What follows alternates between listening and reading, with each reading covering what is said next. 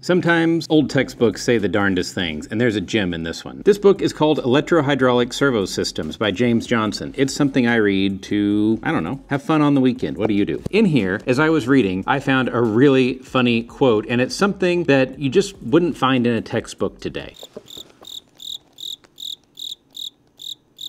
So servo systems are these big hydraulic control systems that control industrial hydraulics and normally are connected to some pretty scary stuff. This is what he has to say about how you set up and trim the controls on those systems. There are three rules which should be observed when trimming a servo system. Rule one, know your servo system. Okay, sure, that seems good to me. Rule two, know the machine the servo must control. Now that makes sense. You need to know what you're doing. Okay. Rule three, proceed with caution.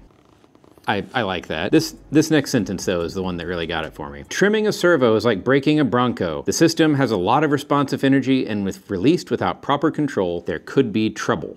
I don't know of any modern textbook author that would take an engineering text and compare tuning a servo to breaking a Bronco and tell you to proceed with caution. A lot of times we treat things a little too academically, whereas this book and a lot of these older textbooks actually tell you how to do something in real life. Learning how to do things in real life is all about Learning how to do things in real life is all what we're about here because we have to apply what we know. And that's part of what we do in our Gears workshop is we teach students just like you how to do things in the real world. So be sure to check out some of these older textbooks and if you want to learn how to make things, check out our workshop.